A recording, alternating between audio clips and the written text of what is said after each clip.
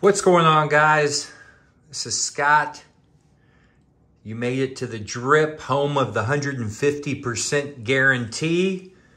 Every knife has a story. We try to touch base, whether it's the beginning, middle, end, go over, review, give overviews, discuss, and do what we do, which is playing with knives just a little bit, kind of getting a feel and uh, telling you my opinions, what I like, dislike, all the little pointers, and then uh, open it for a little discussion.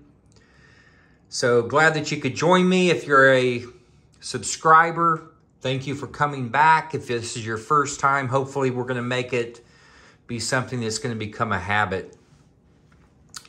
Uh, so we are going to take a look at one of the companies that I think is doing a excellent job at overall kind of like a budget type knife, but they're anything but a budget as far as the value, the construction, the presentation, and that is Kubey. And I had reviewed a, well, at this point, being that it is July 25th, it's Monday. Now, where you're at, you could have been in a time capsule. Maybe you were a caveman that was unthawed. This could be the year 3000. We just don't know where you're at and what you're doing. Hope you have a smile on your face. Back to not being distracted. So, I had done a Kubey previously, and I, I'm going to do some more reviews on Kubey because I like them for one and kind of, I, don't want to compare, but I would say price wise, I think they're very similar um, to Kershaw's. And some of the things that I like, you know, you can find them anywhere between 50 and, you know, 200 or, or a low price range, but they're all over because the blade steels are going to be different uh, and then different materials and such. So this is the Kubey Raven that we're going to look at.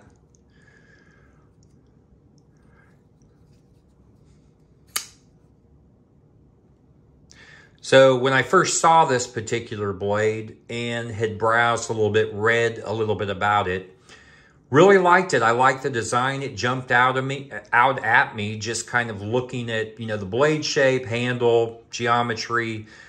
Just like anything, the first thing that we're usually going to do is we see something, then we gravitate towards it, learn more about it, and then kind of go from there. Uh, the Kubey Raven, this is, Kubeys are made in China. Good product. The uh, name of, I guess it's the designer or person who came up with this is, it always kind of makes me laugh and smile. It is gel, uh, is that, what is that? Jelly? Jelly Jerry. Now, I'm not familiar, and that's who designed it. I I have no clue who that is, but the, the sheer fact that the name is Jelly, um, it reminds me of that song that was, she don't use jelly or any of those things. She uses fat. Who, I forgot who sang that song. Huh. But anyways, um, not to digress. So that is the designer. These things, I believe, are right around $70. I got it on the Kubey website. And it's a flipper. Okay, just kind of going um, on the action here. It's a nice smooth action, as you can see. Nice feel. You can close it one-handed. Pretty drop shutty. I mean, again, this is a, a $70 price point. Now you can also, with this particular one, it's a little bit tougher, but you can middle flick, finger flick, spidey flick it. And I kind of like knives where I have a, a couple of different options for opening them just so I can fidget with it a little bit more. So yeah, you can do that. Uh, this is going to be on cage ceramic ball bearings, which I'm a fan of because I think that uh, for the most part, being on ball bearings, to me, it just seems a little bit more fluid, a little smoother. So that's kind of the way that the action works on it. As you can see, this blade, it came straight up, right down the middle for us. That's always nice to see. No fidget adjustment, anything like that. Looks good on the uh, the lineup here. The blade itself is a dark, uh, this particular blade. Now, again, they do have different handles, different bl uh, blade types uh, and makeups. So what I'm going over here uh, is the $70. Now, there could be ones that are cheaper or more expensive of the Raven. This is just the particular one that I have. So the blade itself is a dark stone washed kind of look at the uh, the blade itself here. If I can zoom up just a little bit for you guys to take a look at that. Now, I do like this because it's going to be able to hide uh, some of your nicks or a little bit of wear on here because the blade to me almost looks a little bit distressed already. So, came super sharp. Another thing about Kubeys, I have never had a problem with anything coming to me that, I mean, they're all super razor sharp. It's an AUS 10. And you have the uh, little logo here on the front, the show side. The back side here is where we have the uh, design. And then right here, back towards the handle, you have the AUS 10, which is a good steel. It's, it's a, to me, I mean, I've not had any problem sharpening it or using it or, or noticing that there, uh, you know, or any issues with it. So I don't mind an AUS 10.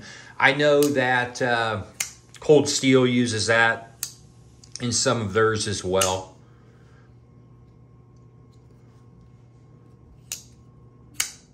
So it's a drop point that we have.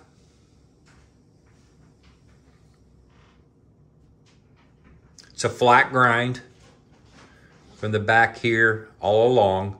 Uh, this is a nice little uh, sharpening choil.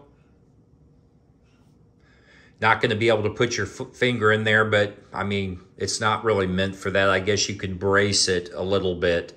But the handle itself, you do have kind of a built-in choil here uh, behind your flipper. Okay, and so when you're on the handle here, you have a nice little jimping up at the top, the back of the spine on the top of the blade. Nice swedge down the top leading to the tip of the blade here. So you kind of take this down to a nice tip. This narrows out, gives you uh, the belly that kind of leads up and meets the blade here. So it's going to be really good at being able to pierce taking this and flow into a stab and then cut, you would be able to do some good slicing. I think this overall, if you're in the market for a very decent priced size flipper, a little fidgety, good performing EDC and you just, maybe you're urban and you're in the city or you just need something to do random tasks for you, I think this would be ideal. I really think it's going to be working well for you. You've got the uh, little emblem here uh, for the Kubey on the pivot. Flip it over. I'm not sure what size that takes, but uh, you've got your pivot on this side that you can adjust if need be. Um, and then so uh, back to the handle. The handle itself, uh, this is going to be a jade or uh, it's really like a natural G10. I like as well because it almost looks like it should be something that glows in the dark, although this doesn't. Uh, I've always liked natural G10. I just, I've got a few other types of blades that I have that uh, I enjoy these handles. I really do. Fits well in the hand. Um, I have a large glove that I wear. And so wrapping or locking into the blade here uh, up against the choil, you're locked and secured. You have a texture on this handle. If you can take a look at this, you can see the texturing all along the handle. Now, other than the back of the blade here, you don't have any jimping on the knife. Now, you do have a little bit here on the bottom because this being a liner lock, you have a little jimping under here. Now, your finger will naturally feel this jimping, but it, it's very non-abrasive. It's all You can barely tell that it's there, but it just gives you a little bit added traction. You have that uh, texturing, both sides of the handles. So when you're holding this, you got the full handle. I've got, uh, my whole hand is going to be on the handle itself. So nothing, I mean, I even have just a little extra. And this particular knife, it's not uncomfortable because you have a nice smooth area for the rest of your fingers to wrap around and nothing is going to be pinched or forced to be in any direction on this area. So whether you have a little larger hand or a little smaller hand, this is going to give you plenty of room to lock in.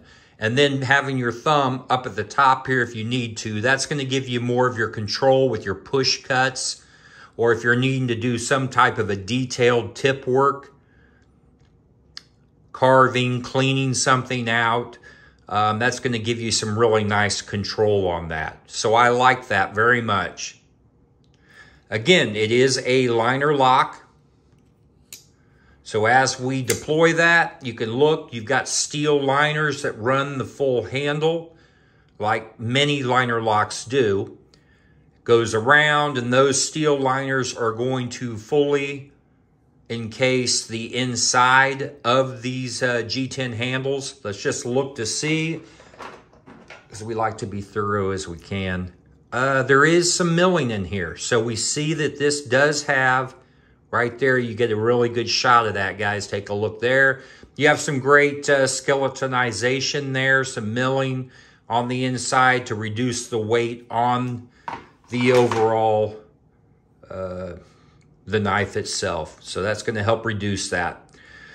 The lockup is great. I do like these for a liner lock because even though the liner is a little thinner. Now, typically I like frame locks because I'd much rather have a thicker bar here or a support that is going to be part of the handle.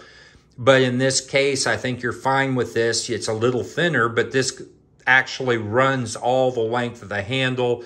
You see you have a good lockup here. I mean, we that's to me, that's a perfect lockup. And you're rock steady. This thing isn't wobbling. It's not moving. It's a very sturdy lockup. Feels very secure. I, I enjoy it, actually.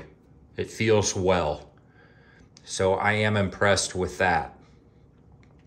Uh, you do have a uh, backspacer here in the back. This is a G10 backspacer. It looks great too, the way it's done. I mean, it runs that whole area. You do have a little cutout area here in this area. And this is going to be where if you want to put a lanyard, you can go right down through here, loop it through. And the nice thing is, is that this area here was your, when you're carrying, using it, you don't see that there's a big hole or anything that is extended out of the handle. It's all almost hidden in here. So I like that, the way they designed that.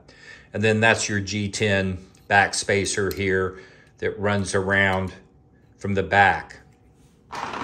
The grip on here, if we flip this over, you have that nice flat plateau here on the back of the knife that you can cradle or actually put your thumb on the top of here, and this gives you a tremendous amount of control, grip to hold the knife if you need to have this, if you need to pierce or stab using the knife in a reverse carry, you have plenty of control, and this is gonna help to keep it secure. Feeling in your hand and your pinky actually is gonna feel great being locked into this area. So it's not uncomfortable at all. That's all down to design. They did a really, Jelly, you did a great job of designing this particular knife. Really happy with that. So yes, you got a lanyard hole if it's something that you guys like. Um, now also the clip, this is going to be a tip up. You can go right or left hand, so you can flip this. It is fully uh, ambidextrous, so whether it's your left or right, you're going to have full use of it just the same. I like the black too with the G10, just the way that it kind of sets off. So yeah, I've had this for probably, I'd say maybe a month. Just kind of carrying it around a little bit the last uh, week just to get a feel in and out of the pocket. I do like this pocket clip. Has the little lip up and then you can uh, push this down onto your pocket. It's almost, it's a deep carry clip, but you're gonna have a little area here, which is about a half a thumbnail or so, that's gonna stick out from the pocket, which isn't bad. I mean, I use this area just to kind of pull it out. But, um, you know, it's a minimalist clip. Nothing too big, nothing too long. Very simple. Black is going to just blend into your pocket anyways, even if you have blue jeans, black jeans, green jeans. Well, unless you have white jeans or pink jeans or who knows, maybe yellow jeans. I don't know. Kids nowadays. So, let's see. That's good. And overall, hey, guys, I think you got a winner here for the price. I'm going to be doing more Kubeys in the future just because I think it's such a great company and a great product. And for being my, uh, this is my choice for a budget line or a budget knife with options. So I'm going to be coming out some other stuff here in the near future, not just uh, Kubeys, but I got a couple of cool little knives I'm going to be reviewing. Uh, if you guys are interested, which I hope you are, if you've lasted this long, thank you. And um, like and subscribe. Hit the subscribe button. It's easy. Punch your ticket. Jump on the raft. I'm going to be the captain here. I'm not going to let the boat sink. If we do, I promise I'll jump off first. And uh, with that being said, remember our pets. Remember our vets the little furry guys, the non-furry guys, the ones that always greet us, love us, kiss us. They're the innocent ones, and we want to make sure we take care of those guys, gals, everything in between. Also, the vets, the people that, the men and women that help us to remain, and to keep our freedoms and that help to get us where we're at. We've got a lot of work in the area as a nation, guys. We're so divided at times, but, you know, to create things, you have to have a thought. That's the first process of taking action. So think positive and just uh, we can only control ourselves, not other people. Got to remember that. And uh, with that, love yourself, like who you see in the mirror. I appreciate you guys being a part of the growth of the channel. And until we meet again, hasta la vista.